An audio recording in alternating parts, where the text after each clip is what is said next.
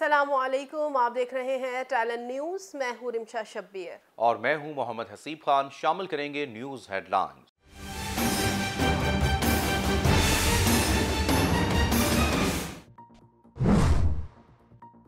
मुल्क भर में सैलाब की तबाहकारियाँ जारी। सिंध, बलोचिस्तान, खैबर पख्तूनख्वा और जनूबी पंजाब में हर तरफ़ बर्बादी के मनाजर।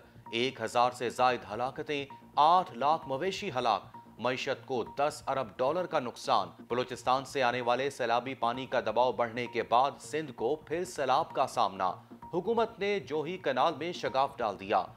साठ देहात मुतासर होने का खदशा। दरिया सिंध में तुगयानी से जमींदारा बंद टूट गया।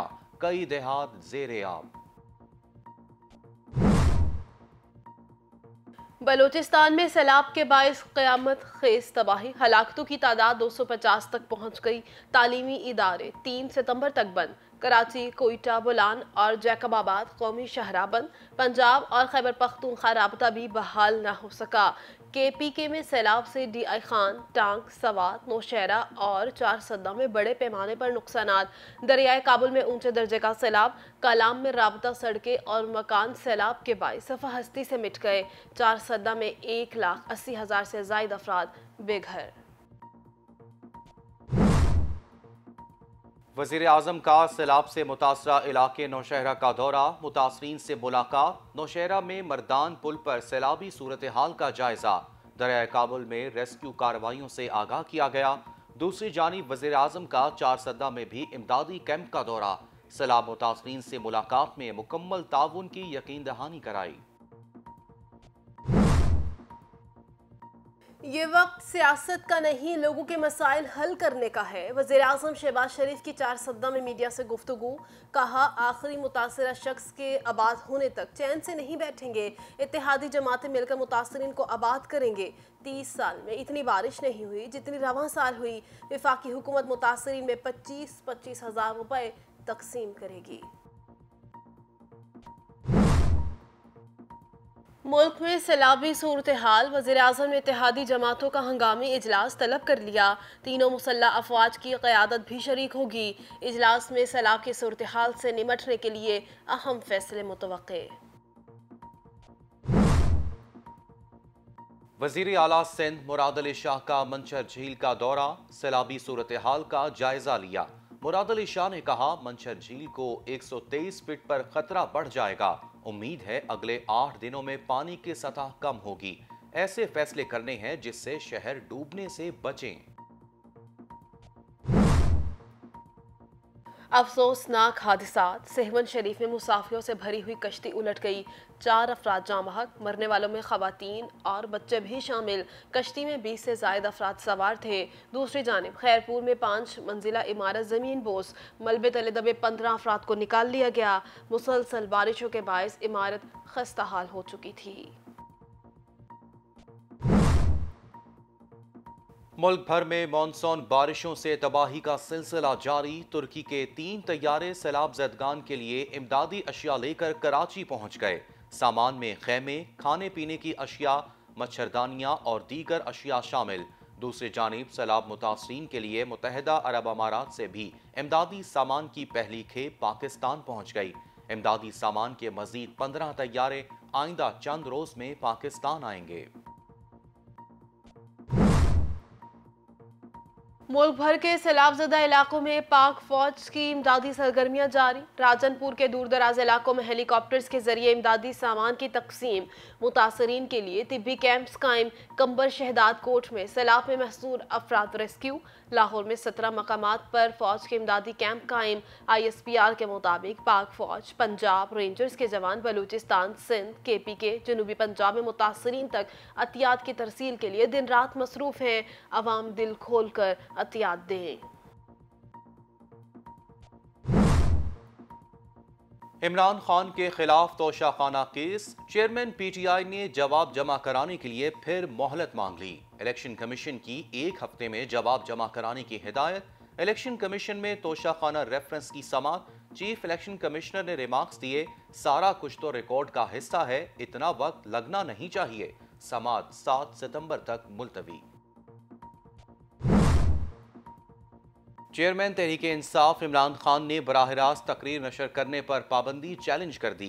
इस्लामाबाद हाई कोर्ट में दायर दरख्वास्त में मौकफ अपनाया, अपनी तकरीर में शहबाज गिल पर तशद का हवाला दिया था। तकरीर को गलत तौर पर नफरत अंगेज तकरीर के तौर पर लिया गया। किसी को भी कानूनी कार्रवाई का कहना नफरत अंगेजी में नहीं आता। लिहाजा बराह रास्त तकरीर नशर करने पर पाबंदी का हुक्मनामा कालदम करार दिया जाए। और आईएमएफ एग्जीक्यूटिव बोर्ड का इजलास आज होगा। पाकिस्तान के लिए कर्ज की मंजूरी का इम्कान, मंजूरी की सूरत में पाकिस्तान को फौरी तौर पर एक अरब सत्रह करोड़ डॉलर का कर्ज जारी होने से रुका हुआ प्रोग्राम बहाल हो जाएगा। इजलास में सऊदी अरब के कर्ज का कोटा भी पाकिस्तान को दिए जाने का इम्कान।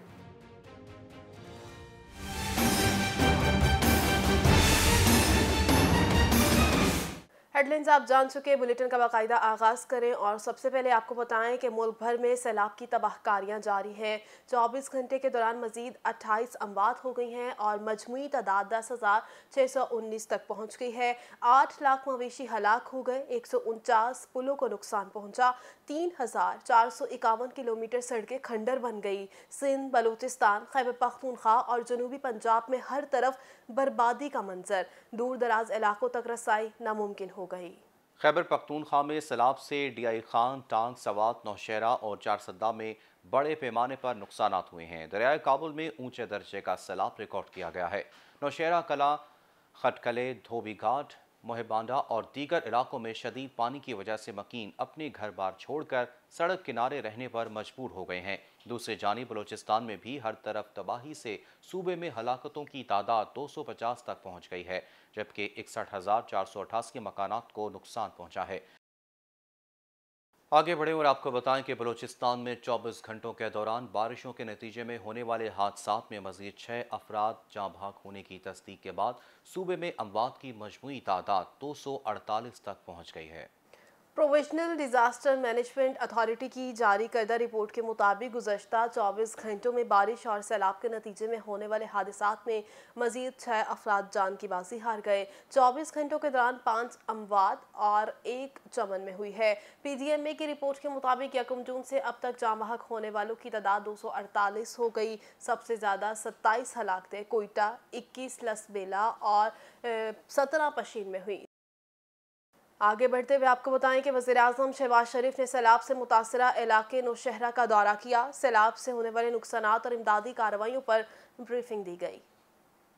वज़ीर अजम शहबाज शरीफ सैलाबजदा इलाकों का जायजा लेने के लिए नौशहरा पहुँच गए। इस मौके पर वज़ीर अजम को सैलाब से होने वाले नुकसान और इमदादी कार्रवाई पर ब्रीफिंग दी गई। दौरे के मौके पर वज़ीर अजम शहबाज शरीफ ने नौशहरा में मरदानपुर पर सैलाबी सूरत हाल का जायजा लिया। दरिया काबुल में सैलाबी सूरत हाल और रेस्क्यू कार्रवाई पर ब्रीफिंग दी गई। वज़ीर अजम शहबाज शरीफ ने सैलाबजदा लोगों को महफूज मकाम पर मुंतकिल करने के लिए तमाम इकदाम की हिदायत की है। उधर सेवन में मुसाफरों से भरी कश्ती उलटने के वाक़े में चार अफराद जहाँ बहाक जबकि खैरपुर में एक छः मंजिला इमारत गिरने के नतीजे में कई अफराद जख्मी हो गए। सेहवन के गाँव बिलालपुर में कश्ती उलटने से जाबहाक होने वालों में बच्चा और खातन भी शामिल हैं। रेस्क्यू जराए का कहना है कि कश्ती पर 20 से जायद अफराद सवार थे। दूसरी जानब खैरपुर में मुसलसल बारिशों के बायस पाँच मंजिला इमारत की दो मंजिलें ज़मीन बोस हो गई। पंद्रह अफराद मलबे तले दब गए। इस्लामी बरदर मुल्क तुर्की के तीन तैयारे सैलाब जदगान के लिए इमदादी अशिया लेकर कराची एयरपोर्ट पहुँच गए। विफाकी वज़ीर खुरम दस्तगीर ने बर वक्त इमदाद पर तुर्की से इजहार तशक्र किया। विफाकी वज़ीर खुरम दस्तगीर और सूबाई वज़ीर सईद गनी ने तुर्क हुकाम से इमदादी सामान वसूल किया। तुर्की से पहुँचने वाले सामान में खेमे, खाने पीने की अशिया, मच्छरदानियाँ और दीगर अशिया शामिल हैं। इस मौके पर कौंसल जनरल तुर्की जमाल सांगू पी डी एम ए के सलमान शाह, पाक फौज के आला हुकाम भी मौजूद थे। विफाकी वज़ीर खुरम दस्तगीर ने तुर्की से इजहार तशक्र करते हुए कहा कि पूरी दुनिया में सबसे पहले इमदाद तुर्की की जानब से मौसू हुई है। इदारे जल्द इमदादी सामान मुस्तकिन में तकसीम करेंगे। मुल्क भर के सैलाबजदा इलाकों में पाक फौज ने इमदादी सरगर्मियाँ तेज कर दी हैं। पंजाब के जिला राजनपुर के दूर दराज इलाकों में हेलीकॉप्टर्स के ज़रिए इमदादी सामान की तकसीम जारी है, जहाँ आर्मी के जवान सैलाब मुतासरीन को खुराक और दीगर अशिया की फरहमी यकीनी बना रहे हैं। पाक फौज की जानब से तिब्बी मुआयने के लिए कैंप्स भी लगाए गए हैं, जबकि पाक आर्मी के साथ पाक बहरिया भी सिंध में सैलाब जदगान की मदद करने में पेश पेश है। इलेक्शन कमीशन में तोशा खाना रेफरेंस की समात में इमरान खान ने जवाब जमा कराने के लिए मजीद मोहलत तलब कर ली है। तोशा खाना रेफरेंस की इलेक्शन कमीशन में पाँच रुकनी बेंच ने समात की। पीटीआई चेयरमैन इमरान खान ने जवाब जमा कराने के लिए मजीद वक्त मांग लिया है। इमरान खान के वकील के मावन बैरिस्टर गौहर इलेक्शन कमीशन में पेश हुए और जवाब जमा कराने के लिए मजीद एक हफ़्ते मोहलत देने की सदा की। उनका कहना था कि इमरान खान के वकील अली ज़फ़र लाहौर में हैं। उनसे मशावरत नहीं हो सकी, इसलिए मजीद वक्त दिया जाए। कोशिश होगी अगली समात में जवाब जमा करा दिया जाए। चीफ इलेक्शन कमिश्नर का कहना था कि सारा कुछ तो रिकॉर्ड का हिस्सा है, इतना वक्त लगना नहीं चाहिए। इलेक्शन कमीशन ने इमरान खान को जवाब जमा कराने के लिए सात सितंबर तक वक्त देते हुए समात मुलतवी कर दी। चेयरमैन तहरीक इंसाफ और सबक वजी अजम इमरान खान ने अपनी तकारीर बरह रास्त नशर करने पर पाबंदी के खिलाफ इस्लामाबाद हाई कोर्ट से रजू कर लिया। चेयरमैन तहरीक इंसाफ इमरान खान ने अपनी तकारीर बराह रास्त नशर करने पर आयद पाबंदी के खिलाफ इस्लामाबाद हाई कोर्ट से रुजू कर लिया है। चेयरमैन पीटीआई के वकला ने हाई कोर्ट में दरख्वास्त दायर कर दी है, जिसमें इस्तः की गई है कि बराह रास्त तकरीर नशर करने पर पाबंदी का हुक्मनामा कलदम करार दिया जाए। दरख्वास्त में इमरान खान ने मौक़ पेश किया है कि मैंने अपनी तकरीर में शहबाज गिल पर तशद का हवाला दिया था और तकरीर में ज़िम्मेदारों के खिलाफ कानूनी कार्रवाई की बात की थी। इमरान खान ने मौकफ पेश किया है कि कानूनी कार्रवाई का हक कानून के बतौर शहरी दे रखा है। तकरीर को गलत तौर पर नफरत अंगेज़ तकरीर के तौर पर लिया गया। किसी को भी कानूनी कार्रवाई का कहना नफरत अंगेज़ी में नहीं आता। न्यूज़ बुलेटिन से फिल वक्त के लिए इतना ही। मजीद खबरों और अपडेट्स के लिए देखते रहिए टैलेंट न्यूज़